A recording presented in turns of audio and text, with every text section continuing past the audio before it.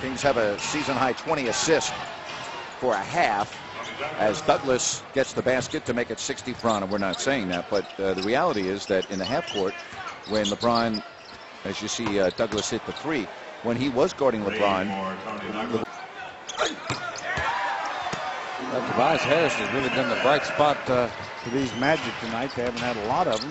Boy, nice take there by Toney Douglas. boy, Uh, he can really fly. he, he? he is very athletic now here in Tallahassee. Seven points, three assists, two rebounds, and now eight points. I'm sure you've been to Tallahassee on many occasions.